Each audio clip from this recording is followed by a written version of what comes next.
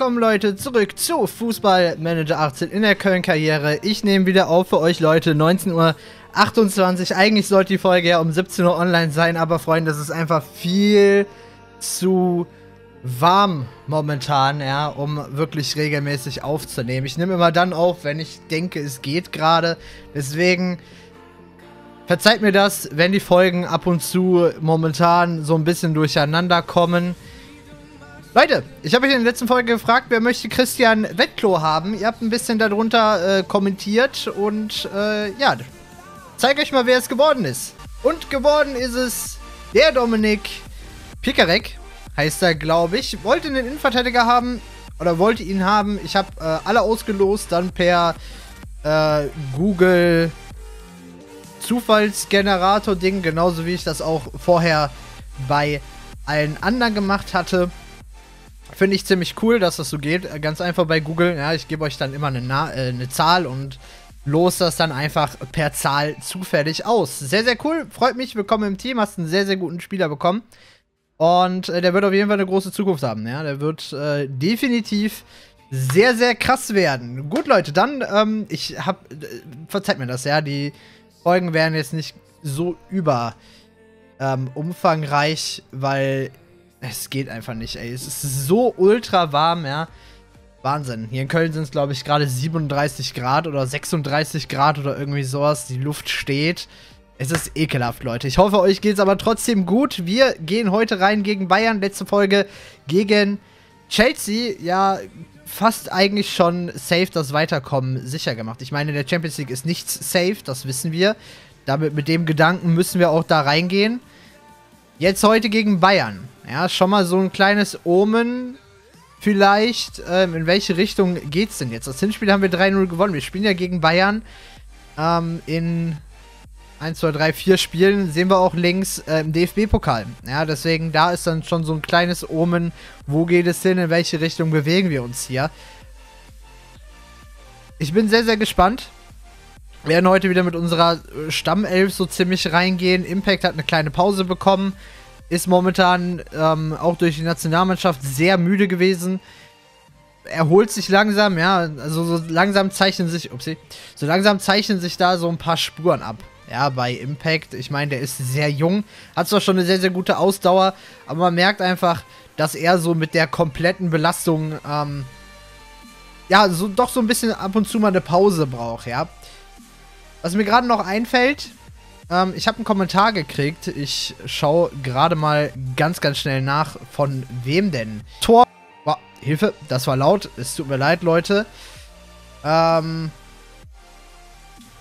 Mir hatte nämlich jemand drunter geschrieben unter das Video. Ich weiß gar nicht mehr, wo es war. Hm. War das unser das letzte Video? Ich weiß es gar nicht. Auf jeden Fall hat jemand geschrieben, dass die ähm, internationalen Spiele, die hier angezeigt werden, wirklich die in der Nationalmannschaft sind und dass es da komischerweise, also hier die mitgezählt wird. Ähm, dann hat er wohl doch noch keine Tore gemacht, Impact. Aber das ist ein Schwachsinn, weil Impact hat alleine in der letzten Länderspielpause, hat er, glaube ich, vier oder fünf Tore gemacht. Die werden hier halt auch nicht mitgezählt. Das ist halt ein bisschen dumm. Hier steht nur drin, dass er zweimal Spieler des Spiels war. Ähm, ja. Generell habe ich irgendwie so das Gefühl, dass es vielleicht nur mitgezählt wird bei Turnieren. Ja, nicht in der Vorbereitung, sondern dass nur die Turniertore in der Nationalmannschaft mitgezählt werden. Ist aber auch komisch. Ja, ist aber sehr, sehr komisch. Das ist ein Mysterium. Ich werde mich da mal versuchen, noch schlau zu machen, Leute. Wir gehen auf jeden Fall rein gegen Bayern mit der absoluten Stammelf. Lars heute mit dabei. Ja, den möchte ich einfach unsere Offensive ähm, soll einfach sich so einspielen. Lars, Daniel und Impact. Und wenn man sich das mal so anguckt, ähm, Lars braucht auf jeden Fall noch viel mehr Spielzeit. Deswegen werden wir auf jeden Fall Puzzlag auch verkaufen, denn ähm, wenn wir uns das mal so angucken, in Impact, der immer spielen konnte, ist mittlerweile auf einer 90 und Lars ist immer noch auf einer 83 und selbst Daniel ist auf einer 88. Also Lars muss auf jeden Fall mehr spielen, das wird er jetzt. Ähm, dadurch, dass wir Puzzlag sowieso verkaufen, müssen wir Puzzlag jetzt nicht mehr so viel Einsatz geben. Ähm, deswegen habe ich mir da so den Plan gemacht, dass wir da dann wirklich auf ähm, Lars ab jetzt setzen. in der Startelf. Mit Cristiano Junior müssen wir noch mal gucken, was wir mit ihm machen. Ich meine, er ist weit eigentlich hinter seinen Möglichkeiten bei uns geblieben. Vielleicht ist es bei uns auch nicht das Richtige für ihn, ja. Vielleicht fühlt er sich einfach irgendwo anders wohler, ja. In Italien hat er ja sehr, sehr gut gespielt. Da müssen wir einfach mal gucken. Würde auf jeden Fall nochmal ähm, Möglichkeiten bekommen, sich zu beweisen, gar keine Frage. Wir gehen rein, Leute, gegen die Bayern. Heute wieder sehr wichtiges Spiel. Ich meine, Bayern sind auf dem fünften Platz. 51 Punkte, gleich auf mit Schalke. Für uns geht es immer noch unseren Puffer zu bewahren und für Bayern gilt es da, also geht es darum, in die Champions League zu kommen, weil ein Bayern, das nicht in der Champions League spielt, das ist ja wohl mal komplett komisch. Deswegen, wir gehen rein, das wird bestimmt ein sehr, sehr angenehm, also sehr, sehr interessantes Spiel und wir treffen heute auf Justin. Mal sehen, vielleicht haut er uns ja eine Bude rein, ich will es nicht hoffen. Bis gleich. So Leute, herzlich willkommen zum 29. Spieltag der Fußball-Bundesliga. Wir spielen heute gegen den FC Bayern München. Wir spielen auswärts in Bayern und haben ja gute Chancen, will ich meinen, dieses Spiel hier für uns zu entscheiden. Ich meine, Bayern Hinspiel 3-0 gewonnen. Heim natürlich, auswärts müssen wir jetzt zeigen, was wir drauf haben. Erste sehr gute Möglichkeit für uns. Testegen klärt den Ball zur Ecke. Und ich hoffe, wir machen das Spiel heute und entscheiden das für uns. Übrigens, Olaf auf einer 79 gerade. Hummels klärt die Ecke von Jao Mario per Kopf. Kleinen Tick zu kurz. Impact geht volles Risiko. Donnert den Ball genau unter die Latte. Ter Stegen war noch an dem mit den Fingerspitzen dran, aber keine Chance gegen Impact. 22. Tor für ihn in dieser Saison. Sehr, sehr krass. Und wäre natürlich jetzt auch richtig heftig, wenn Impact jetzt auf einmal gegen Ende der Saison nochmal richtig reinhaut und sogar noch ein paar Tore macht, dass er vielleicht sogar näher ähm, an sein letztjähriges Ergebnis rankommt oder das vielleicht sogar nochmal toppt. Ich meine, von den Vorlagen her hat er es auf jeden Fall schon getoppt. Wir machen weiter Druck. Impact bedient hier Daniel, der versucht aus 22 Meter. Der Degen ist aber auf der Hut, klärt zur Ecke. Na, hält er nicht fest, klärt zur Ecke. Ist natürlich dann auch nicht ganz einfach. Jao Mario mit der nächsten Ecke, ganz einfache Variante. Wanyama verlängert den Eckstoß am kurzen Pfosten. Daniel relativ unbedrängt mit dem Kopfball und der schlägt halber im Kasten der Münchner ein. 2 zu 0 in der 15. Minute. Dritte Tor von Daniel in dieser Saison. Erste Vorlage für Wanyama. Ganz einfach, mega, mega nice. Wir machen wieder, also mit Bayern haben wir wirklich einen Lieblingsgegner, kann man schon fast sagen. Da spielen wir ja immer richtig gut. Klares Foul hier von Philipp Drobliek gegen Aaron im Strafraum. Schiedsrichter hat aber nichts gesehen und es gibt keinen Elfmeter. Wahnsinn. Brauchen wir nicht. Wir machen, besiegen Bayern auch so, aber den Elfmeter, den hätte ich natürlich jetzt sehr, sehr gerne mitgenommen. Lars heute noch nicht so ganz gut in der Partie drin. Olaf wahrscheinlich aufgrund der wenigen Bälle, die er aufs Tor gekriegt hat, auch mit noch keiner so guten Note unterwegs. Ja, wir, wir, schauen mal. Aaron wird steil geschickt, will an Alaba vorbeigehen, bleibt hängen, setzt erfolgreich nach, holt sich den Ball wieder, spielt den Ball flach in die Mitte. Impact kommt zum Schuss. Testegen taucht in die kurze Ecke ab, kann den Ball gerade noch so um den Pfosten drehen. Also Bayern schwimmt. Bayern hat echt zu tun gerade. Sehr, sehr schön. Freut mich, dass wir da so ein überragendes Spiel machen. Wir sehen es auch an den Noten. Ja, Julian mit einer überragenden Leistung. Jao Mario sehr, sehr gut. Daniel mit der 1. Impact mit der 1,5. Also wir haben hier heute wieder ein sehr, sehr gutes Spiel. Lars zieht mit Schwung in den Strafraum, wird beim Abschluss ähm, hart von Alaba bedrängt. Der Ball geht per Abpraller ins Aus. Geht, ähm, also gibt folgerichtig dann Abstoß für die Münchner. Aber das 2 zu 0, das nimmt man dann schon mal sehr, sehr gerne mit. Ja, auch dann in die Halbzeit. Lars wird steil geschickt, will dann Alaba vorbeigehen, bleibt zunächst hängen. Nächste gute Möglichkeit, holt sich den Ball wieder. Spielt den in die Mitte, dort lauert Impact. Hummels kann dessen Schuss noch zur Ecke abblocken. Also, Wahnsinn, was wir hier gerade machen. Alaba irgendwie auf beiden Seiten unterwegs, sowohl im Zweikampf gegen Daniel als auch gegen Lars. Wahnsinn.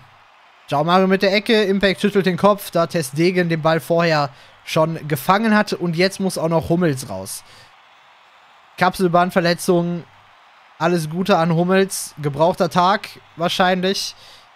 Banyama schießt beim Abwehr, versucht den eigenen Mann an. Weigel kriegt den unfreiwillig. Äh, Ulrich schaltet aber, Julian schaltet blitzschnell. Wirft sich dazwischen. Ecke für die Bayern. Und wir sehen, dass sie gerade, wir haben eine Durchschnittsnote von 2. Davy Selke am Fünfer-Eck köpft. Olaf reckt sich und fischt den Ball aus der Luft. Also, ohne Witz, auf den kann man sich mittlerweile so gut verlassen, Olaf, ne?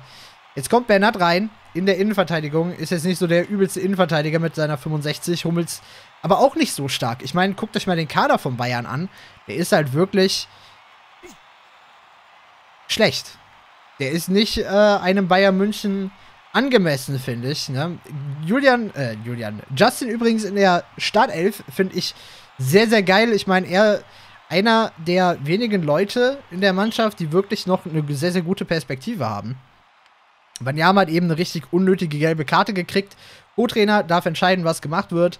Spieler sind überzeugt, dass sie das Spiel nicht mehr aus der Hand geben würden. Ein 3 zu 0 wäre natürlich jetzt noch geil. Banyama behalten wir uns mal im Hinterkopf ähm, für den Wechsel. Ja, habe ich auch schon lange nicht mehr reingeguckt. Ähm, gehen wir weiter. Ich habe übrigens eingestellt, dass der Co-Trainer die Aufgaben ähm, automatisch vergibt. Da muss man da nicht jedes Mal reingehen. Und wir machen in der zweiten Halbzeit genau da weiter, wo wir aufgehört haben in der ersten. Jao Mario, extrem scharf getretene Ecke. Impact kommt zum Kopfball in die dritte Etage. Ah, Impact, da musst du ein bisschen mehr draus machen. Ein bisschen mehr. Ich meine, er ist stark im Kopfball. Er ist generell mittlerweile mit seinen 21 Jahren so ein krasser Allrounder. Bernardo riskiert einen Strafstoß, plumpe Grätsche gegen Daniel. Schiri zeigt wieder nicht auf den Punkt. Also, da muss man sich doch langsam echt fragen, wo hat der Typ die ab, äh, hat, hat der Typ Schiri sein gelernt, ja. Wahnsinn. Daniel wieder mit dem Schuss viel zu früh, relativ harmlos. Kein großes Problem. Aber wir kommen zu Möglichkeiten. Wir müssen sie nun mal verwerten. Lars schlägt den Ball flach nach innen, Testegen äußerst aufmerksam. Rettet da so ein bisschen in der Defensive, ne? Den FC Bayern München, die ja sonst nicht wirklich viel auf die Kette bekommen. Lars wieder mit der scharfen Flanke. Süle rutscht beim Klärversuch gegen Impact über den Spann und bezwingt damit seinen eigenen Torwart. Eigentor Niklas Süle. Ganz, ganz bitterer Tag schon wieder für Bayern. Eieiei. Und wir können jetzt sagen, übernehmt die Kontrolle. Wir wechseln mal Wanyama aus. Gelbe Karte muss nicht sein, dass der auf dem Platz bleibt. Gehen wir da mal auf Nummer sicher. Kommt Tim rein. Sehr früher Wechsel. Für meine Verhältnisse doch echt ein sehr früher Wechsel.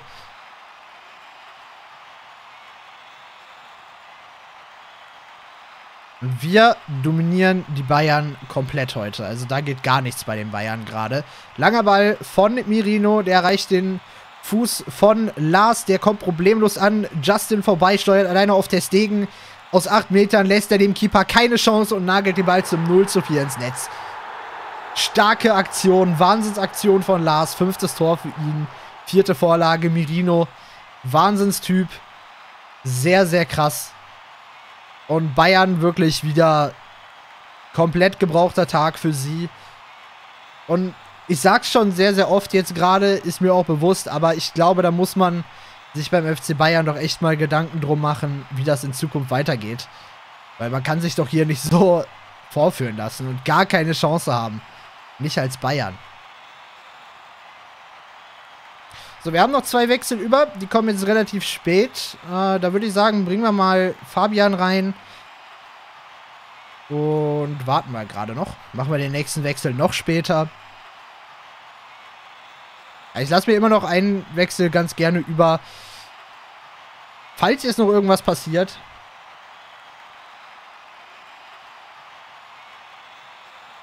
damit wir da reagieren können. Ja, zur Not.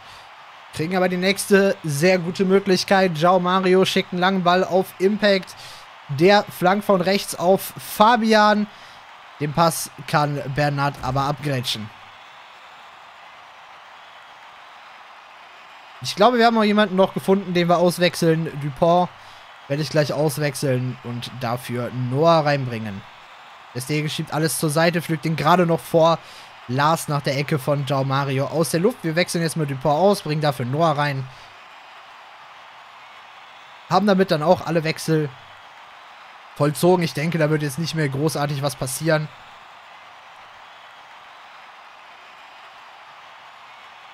Brand muss behandelt werden. Aaron hat ihn mit dem Arm im Gesicht getroffen. Kann aber weitermachen. Sehr gut. Ist halt immer bitter, ne, wenn sich da irgendwer was tut. Daniel, flank von links in den Strafraum, Ball kommt zu Impact, Volley. Ah, fliegt über das Tor von Ter Stegen. Also Impact heute so ein bisschen der Chancentod, kann man sagen. Hat so viele Chancen. Aber, ja, macht die nicht rein. Ja, da hätte er locker schon zwei noch mehr reinmachen können. Aber ist ja auch nicht allzu tragisch. Wir haben ja 4-0 gewonnen. Kann man, denke ich mal, so stehen lassen. Nochmal Konterchance. Impact schießt aus 17 Meter weit am Tor vorbei. Will er einfach nicht heute den Ball nochmal reinzumachen. Denkt er sich 4 zu 0 reicht schon gegen die Bayern. Und wir gewinnen hier 0 zu 4 auswärts in Bayern. Und das ist einfach, wir haben sie vorgeführt. Kann man, muss man so sagen. Kann man nicht sagen, muss man so sagen, dass wir Bayern hier vorgeführt haben. Heißt für uns, wir sind immer noch, haben unseren Puffer aufrechterhalten und gehen in den Nachbericht und schauen uns das Ganze denn dann auch mal an. So, Leute. Nachbericht, ja, ich würde sagen, wir haben heute ein überragendes Spiel gemacht gegen die Bayern. Die haben heute nicht wirklich viel Schnitte gehabt. Eigentor von Süle natürlich dann auch noch sehr bitter für die Bayern. Aber ich meine, unsere komplette Offensive, jeder hat heute getroffen. Ja, sowohl Daniel als auch Lars als auch Impact. Und das zeigt einfach, was wir da für eine kranke Offensive denn vorne drinne haben. Und ich meine, das hier, so wie sie gerade auf dem Platz ist, wird aller Voraussicht ja auch irgendwann die Offensive sein, die in der deutschen Nationalmannschaft ähm, vorne drin steht. Weil, tut sie ja eigentlich jetzt schon. Mit Impact, Daniel und Lars ist ja auch in der Nationalmannschaft. Finde ich sehr, sehr krass. Na, also, die kennen sich aus dem Verein und die werden auch in der Nationalmannschaft stark sein. Ganz, ganz klare Kiste. Ja, wir haben Bayern heute ultra dominiert, 12 zu 2 Chancen gehabt, 62% Ballbesitz. Ich meine, guckt euch das einfach mal an und dann wisst ihr Bescheid, was mit Bayern momentan los ist. In der Liga sieht es immer noch sehr, sehr gut aus. Chancenverwertung sind wir auch noch die beste Mannschaft. Ich glaube, wir haben uns sogar die meisten Chancen rausgespielt und haben die beste Verwertung. Ähm, das ist sehr, sehr schön zu sehen. Das ist wirklich echt mega schön zu sehen. Defensiv sind wir noch nicht die beste Mannschaft. Da muss Wolfsburg mal ein paar Tore noch kassieren. Offensiv sind wir sowieso, wir haben den besten Sturm der Liga, darüber kann man sich, darüber kann man sich, glaube ich, nicht streiten. Ähm, läuft einfach momentan.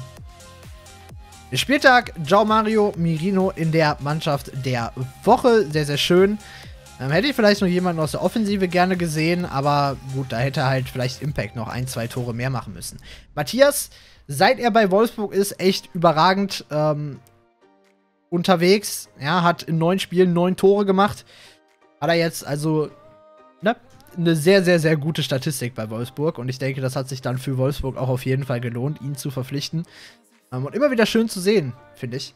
Wenn dann ähm, Jugendspieler von euch, die sich halt bei uns nicht durchsetzen können oder bei uns einfach keinen Platz ähm, haben, ähm, weil wir können halt leider keinen, oder wir, wir könnten schon, aber es macht halt keinen Sinn, einen 50-Mann-Kader zu haben. Finde ich immer wieder schön zu sehen, wie die sich bei anderen Vereinen durchsetzen. ja, da sei mal drauf geschissen, dass das jetzt Wolfsburg ist und ich Wolfsburg eigentlich nicht so gerne mag. Aber es ist wirklich schön zu sehen, dass sich dann Leute schön durchsetzen. Ne, oder gut durchsetzen, auch bei anderen Vereinen.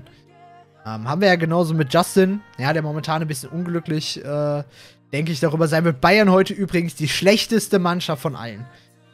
Und ich glaube, das ist auch schon bezeichnend ja, dass sich da etwas ändern muss. Es ist ein sehr, sehr gutes Oben für den DFB-Pokal, aber wahrscheinlich wird dann im DFB-Pokal, weil er halt seine eigene Geschichte schreibt, das Spiel extrem schwer werden. Ja, wirklich extrem schwer. Wir schauen gerade, nee, was wollte ich gerade schauen? Genau, ich wollte auf Justin gucken.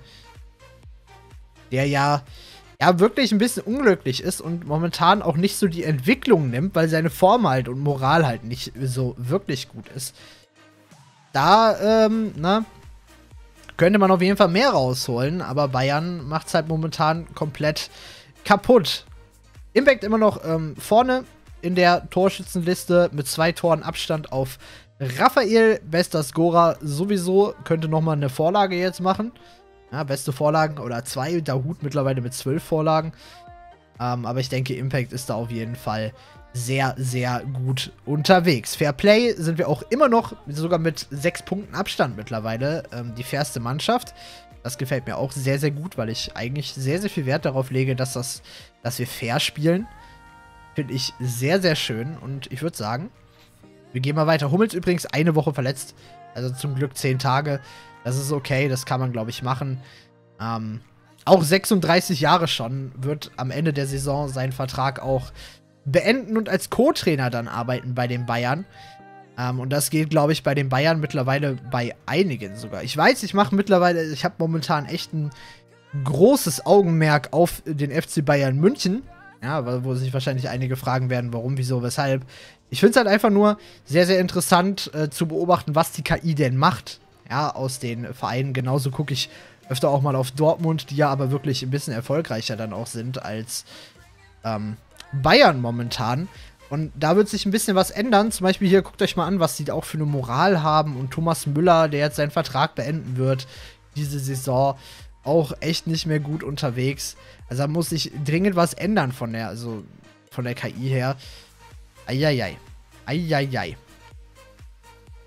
Gehen wir weiter. Und das nächste Spiel haben wir ja dann schon das Rückspiel gegen den FC Chelsea. Das wird es aber erst in der nächsten Folge geben. Heute nochmal ähm, kurze Sachen. Hier haben einige Leute nochmal Vertragsangebote angenommen aus der zweiten Mannschaft. Die habe ich mir ähm, schon mal angeguckt. Äh, aus der zweiten Mannschaft. Äh, aus der A-Jugend. Dann in die zweite Mannschaft. Habe ich mir schon mal ein paar Leute rausgesucht.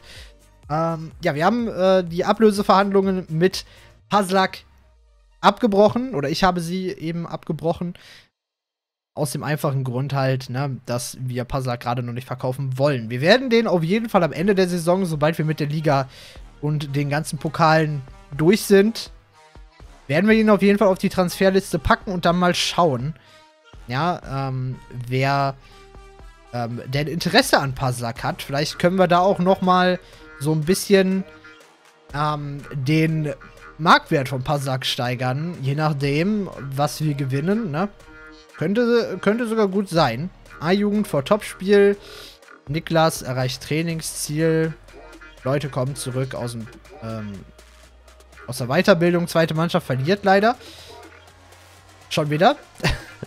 also unsere zweite Mannschaft hat echt auch eine sehr gebrauchte Saison, diese, diese Spielzeit. Müssen wir mal gucken, Leute. Ich würde sagen, gabt euch wohl. Ich hoffe, ihr schmelzt mir nicht, da, äh, schmelzt mir nicht weg. Bei dem Wetter haltet durch. Ähm, soll aller Voraussicht, glaube ich, nicht mehr so lange so warm sein. Zumindest sollen wir in den nächsten Wochen mal wieder ein bisschen kühlere Temperaturen haben. So 25 Grad dann, nicht 37. Ich hoffe es zumindest, dass es langsam mal ein bisschen kühler wird. Leute, ich verabschiede mich von euch. Macht's gut. Gabt euch wohl. Ciao.